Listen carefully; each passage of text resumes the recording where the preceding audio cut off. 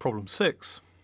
A function f is called good if it assigns an integer value f of m and n to every ordered pair of integers m and n in such a way that for every pair of integers m and n we have 2 times f of m and n is equal to f of m minus n and n minus m plus m plus n.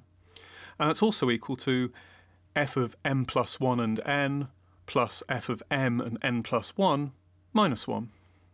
Find all good functions.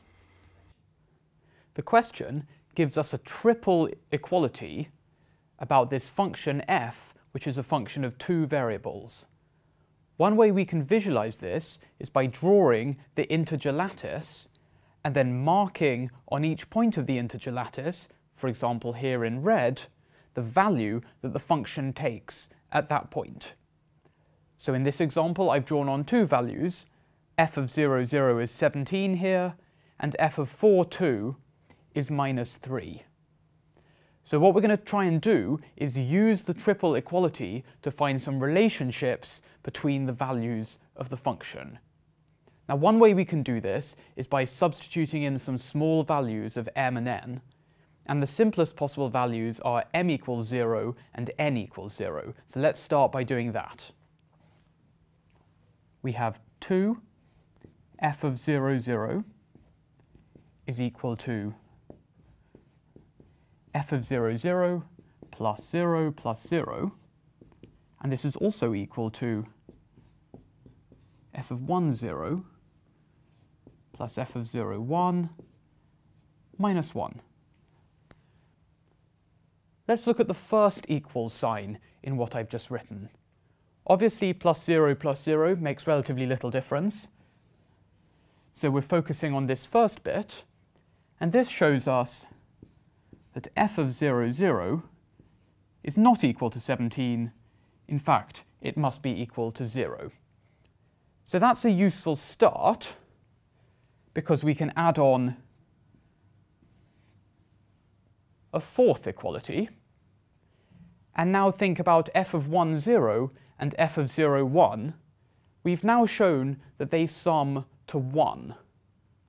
So one option would be to continue with small values, trying to find relationships like these, and build them all together in a big web of simultaneous equations. In fact, we're not going to do that. We're going to go back to the original equality and try and study it in slightly more generality.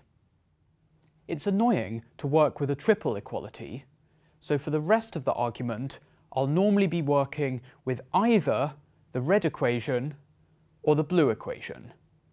For now, I'm going to be working with the red equation. Let's go back to our friend f of 4, 2, and think what happens if we apply the red equation. By taking m equals 4 and n equals 2, we find that twice the value of f, 4, 2, is f of 2 minus 2 plus 4 plus 2. So we can think of this as saying that the value of f here is determined by the value of f here.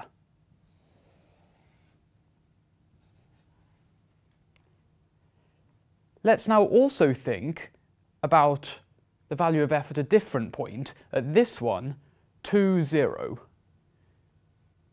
We have a similar equation if we sub in m equals 2 and n equals 0 into our red equation, but we get the same term on the right-hand side. We get another copy of f2 minus 2. In particular, this is saying that f of 2, 0 is also determined by the value of f down here at f of 2 minus 2. Now that's quite useful because it actually says if I want to know the value of f anywhere, on this diagonal region I'm showing,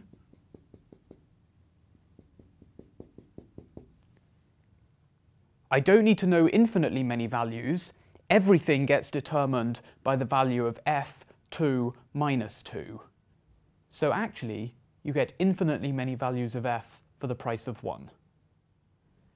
So if f of 2, 0 and f of 4, 2 are both determined by f of 2 minus 2, then in fact we can think of this as saying that f of 4, 2 is itself determined by f of 2, 0. And that's a nice observation because it sounds like we're saying that everything on this diagonal is determined by the value on the x-axis, and in particular, that means everything all over the integer lattice is determined by the values taken along the x-axis. What we're going to do now is convert that into algebra. Let's go back to the red equation that we were given, and let's try and handle the term f of m minus n, 0, using substitutions into the red equation. So we'll get f of m minus n, n minus m, again, but now we have m minus n plus 0. So we've got the same term appearing in the red equation and in the black equation, so we can actually cancel them to get a new equation.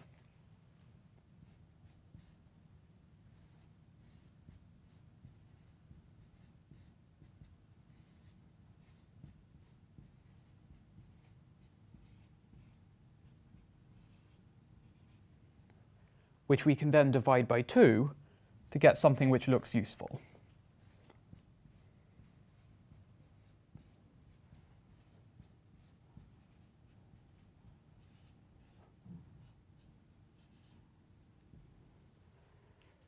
Note that this exactly replicates our earlier intuition on the picture. It says that all values of f are exactly determined by the values f takes on the x-axis. I think we've now got all we can out of the red equality we're given, so let's turn our attention to the blue equality. If we think again about f of 4, 2, the blue equality is saying that the value f of 4, 2 is determined by these two values, f of 5, 2 and f of 4, 3. But we mustn't forget our work with the red equation completely, because each of these values we've highlighted is related to one of the values on the x-axis.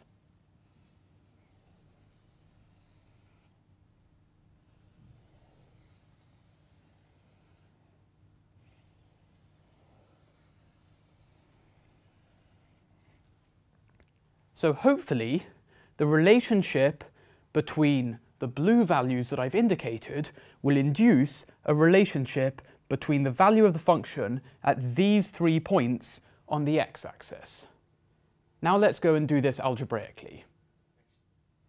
So what we're going to do is take the blue equation and rewrite the three f's in terms of values of f obtained by points on the x-axis.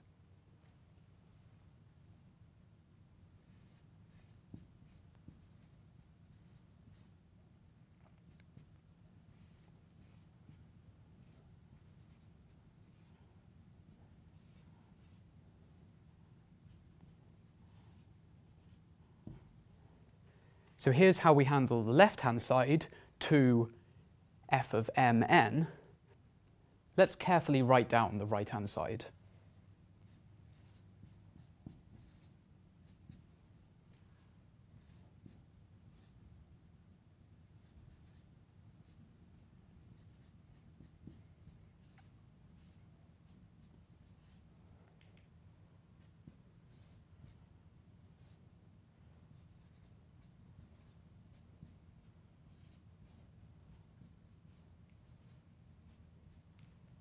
And we'll be careful not to forget this minus 1.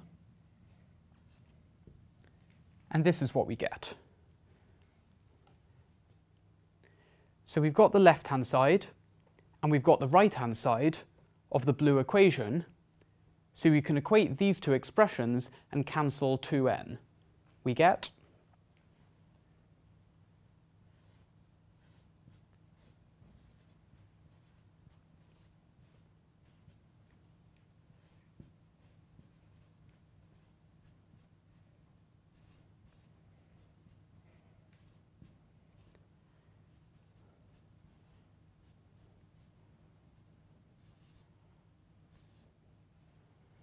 we get the following, which says that one value of f on the x-axis is equal to the average of the two adjacent values of f on the x-axis. This notation is a little bit clumsy, so let's try and rewrite it slightly.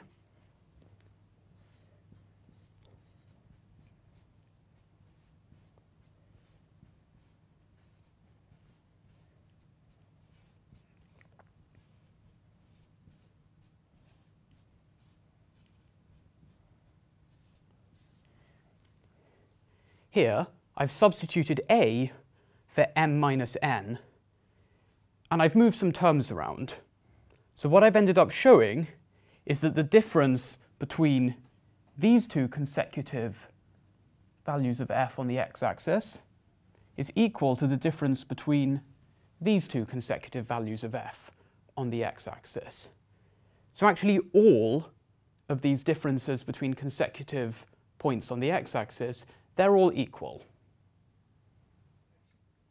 Let's review what we've discovered. Right back at the beginning, we showed that f of 0, 0 is equal to 0.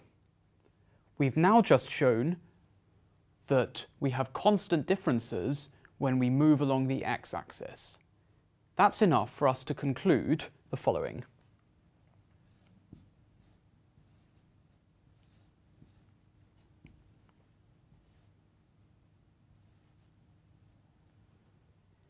We know from our constant differences relation that f of a0 must have the form a constant times a. And c, this constant, can be any integer. Right, but remember our analysis of the red equation led us to the reduction of all values of f in terms of the values of f on the x-axis. So to complete the characterization, we just need to substitute our linear relation for the values along the x-axis back into our deduction from the red equation.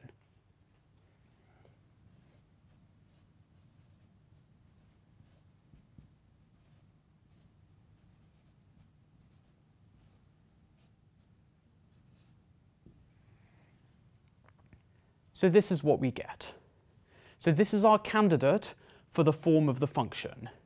The only thing we need to do now is to check that functions that look like this actually satisfy the original equality we were given. And they do.